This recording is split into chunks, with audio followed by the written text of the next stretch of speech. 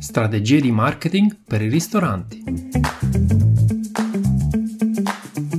Il 2020, anno della diffusione del Covid-19, ha segnato una frattura irreparabile tra passato e futuro. Anche per la ristorazione è stato un periodo davvero complicato che ha però portato il settore a sposare il mondo del digitale e quello del delivery.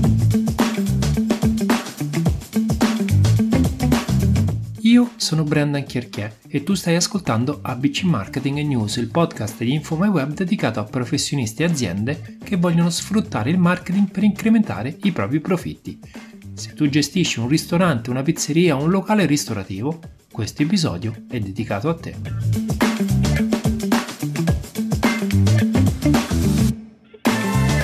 Mezzi di comunicazione digitale hanno salvato il settore dei ristoranti, lo hanno reso innovativo e al passo con i tempi. Internet, i social media e le piattaforme di intermediazione come TripAdvisor o The Fork sono ormai strumenti di branding che orientano e determinano le scelte dei consumatori in fatto di food experience. Dati infatti dimostrano che 55 milioni di italiani utilizzano internet per ben 6 ore al giorno, 35 milioni di italiani utilizzano i social media per circa 2 ore al giorno. Per chi pensa che i social siano popolati solo da giovani e giovanissimi, i dati dimostrano il contrario. Se il 42% degli utenti è rappresentato dagli under 34, ben il 58% supera tale età in qualunque piattaforma esaminata. Mangiare, diciamo così, sui social e sul mondo del web è sempre meno un atto di sopravvivenza e sempre più uno stile di vita. A livello sociale il consumo di cibo fuori casa rappresenta ostentazione e condivisione e a livello psicologico il ristorante rappresenta un momento di emozioni, gioia, intimità e infine a livello morale scegliere un locale piuttosto che un altro significa sposarne valori, cultura e proposte. La pandemia, la diffusione di nuove tecnologie e l'utilizzo di strumenti digitali sempre più avanzati hanno modificato il modo in cui i consumatori scoprono, valutano, scelgono e si fidelizzano alle attività di ristorazione. Ciò significa che per prosperare anche i business del settore alimentare, dalla pizzeria alla trattoria, dal bistrò al ristorante gourmet, devono essere al passo con i tempi e presidiare tutti i mezzi di comunicazione utili per attrarre i nuovi clienti e mantenerli. Vi elenco alcuni comuni errori nel campo della ristorazione. Pensare di non avere bisogno di partner strategici nella definizione di strategie di marketing e comunicazione per costruire un'esperienza di branding memorabile e non focalizzarsi solo sul prodotto finale pensare di saper utilizzare efficacemente i social media, pensare che sia sufficiente il passaparola offline, non rispondere alle recensioni, ai commenti, ai messaggi online, non presidiare piattaforme quali TripAdvisor o The Fork, non ottimizzare e aggiornare le informazioni del proprio sito web, oppure non averlo proprio. Vediamo in cosa consiste ciascuno di questi quattro macro errori e come un partner di marketing e comunicazione digitale può progettare una strategia su misura per ciascuna attività, tale da renderla coerente, capace di comunicare e attraente per i nuovi potenziali clienti. Primo posto veniamo quindi alla definizione di una strategia di branding. Spesso si pensa che per dar vita a un brand sia sufficiente scegliere un logo. In realtà però il brand è un'entità più complessa una vera e propria personificazione della tua idea di business e di ristorazione. I tre obiettivi strategici da definire sono come valorizzare la tua offerta attraverso le emozioni, in che modo definire la personalità e l'identità del tuo ristorante e come differenziare il tuo locale dagli altri, conferendogli elementi di unicità. Ciò che un partner di marketing può aiutarti a fare è spostare il focus da una mentalità basata sui contenuti razionali e autoreferenziali a contenuti orientati ai bisogni del target e volti a stimolare le loro emozioni, evidenziando in primo piano una personalità unica. Ogni brand rappresenta un modo di essere innovativo, autentico, genuino e coinvolgente. Soprattutto dopo un periodo di crisi come quello del Covid-19, i consumatori, piuttosto che focalizzarsi su prodotti di fatto disponibili in infinite varietà, vogliono sposare l'idea di un ristoratore, acquisire un'esperienza immersiva che lasci il segno anche terminato il pasto stesso ristorante o una pizzeria che costruiscono un brand hanno l'incarico di comunicare valori e messaggi costruendo credibilità e passione. Ogni ristoratore quindi deve avere in mente chi sono i suoi clienti, quali sono le caratteristiche peculiari del brand, quali vantaggi funzionali offrire e quali benefici emozionali donare. Autenticità, relazioni, valori, promesse, emozioni e ideali sono gli aspetti principali di un brand che si manifestano attraverso una serie di codici visivi e testuali. Nome, logo, colori, stili, concept, filosofia del business, proposta gastronomica, design, grafica del menu e degli altri elementi distintivi, slogan e frasi tipiche, tono di voce, tipografia, immagini e video tematiche da trattare e da evitare, brand activism e persone.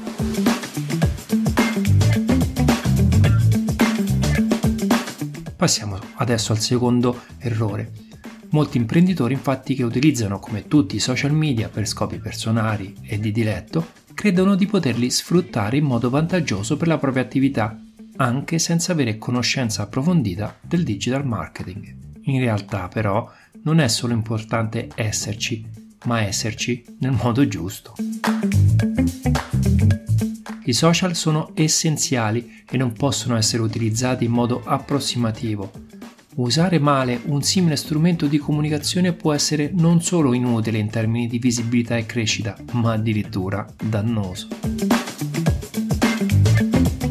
Ecco perché è consigliabile delegare il servizio ad un'agenzia di comunicazione che sulla base di analisi, competenze e confronti con il cliente progetta e mette in atto una strategia di marketing definita, coerente e dettagliata, capace di offrire al brand visibilità, crescita e vendite. La comunicazione social è fondamentale sia nelle sue parti scritte, ti fideresti a prenotare un tavolo a un ristoratore che fa errori grammaticali in un post, ma anche nei contenuti visivi, in particolare immagini e video. Il tema del cibo è prevalente nelle conversazioni che avvengono sui social media in questo momento, quindi è bene conoscerle e rendersi autorevole su tali piattaforme, persuadendo gli utenti a sposare la propria idea di esperienza alimentare.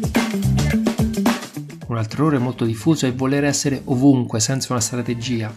In realtà è bene selezionare con cura i canali da presidiare e saperli gestire in modo coerente e costante per mostrarti convincente agli utenti che non ti conoscono e che vogliono scoprire la tua filosofia di business. Sui social come Facebook e Instagram infatti non basta pubblicare menu, prodotti e bevande, è necessario raccontarsi, condividere storie e valori aziendali, comunicare l'intera esperienza. Passiamo adesso al terzo errore. Il passaparola è la forma più antica di pubblicità e ancora oggi è molto efficace.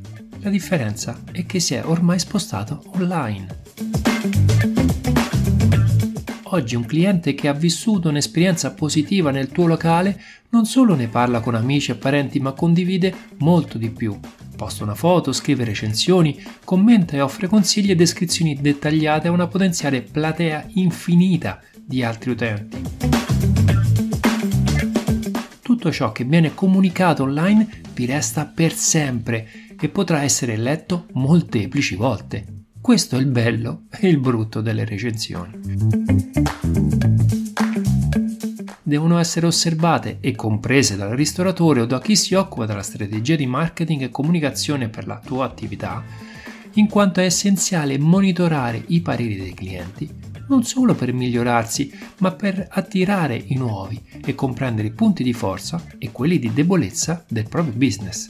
Quindi è necessario che ogni feedback ottenuto venga analizzato con attenzione, sia esso positivo o negativo, come è altrettanto essenziale rispondere a commenti, recensioni e opinioni dei clienti. TripAdvisor, The Fork sono indispensabili a questo fine e influenzano le scelte degli utenti, dei quali ben il 76% li utilizza sempre prima di prenotare un pasto fuori casa, e al ristorante o in pizzeria. Tali piattaforme rappresentano un'ulteriore occasione di mostrare informazioni, foto e menu. Dunque, rispondere a pareri positivi serve a mantenere una relazione con il cliente, a invitarlo a tornare per fidelizzarlo e a mostrare agli utenti l'attenzione che il brand pone nei confronti di ciascuno.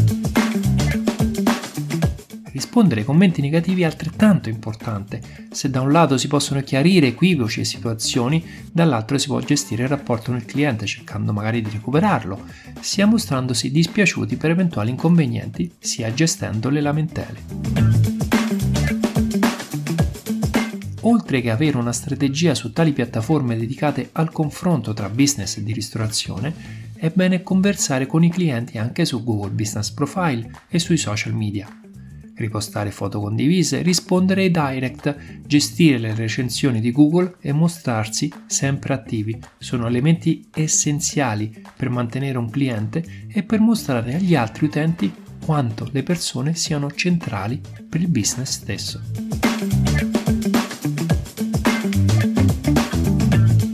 Veniamo ora al quarto e ultimo punto. Comunicare bene significa avere maggiori possibilità che le visite virtuali si traducono in visite effettive all'interno dell'attività commerciale di riferimento. Ma sono in molti coloro che ancora pensano di poter fare a meno di un sito web. L'identità fisica di un'azienda è spesso integrata e qualificata da un buon sito e da una gestione buona dei social.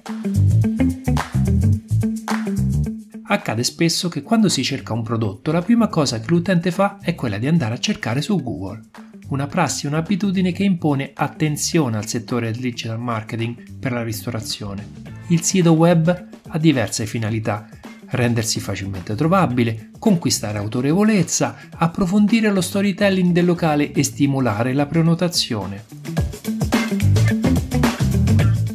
Centrali nel sito sono la pagina di presentazione, quella dei contatti e ovviamente il menu, uno degli elementi che nel design e negli ingredienti deve rispecchiare la brand identity nel locale. Lo stile generale del sito, oltre a rendere il ristorante trovabile, dà inizio al processo esperienziale che pot- porterà l'utente a prenotare e a vivere il momento del pasto da te. Ultimo, ma non per importanza, è bene mantenere attivo un dialogo anche sul proprio sito web. Il blog è uno strumento di comunicazione e condivisione di idee, valori e storie per il proprio pubblico, utile per approfondire temi cari al brand, preparazioni ed esperienze o comunicare novità.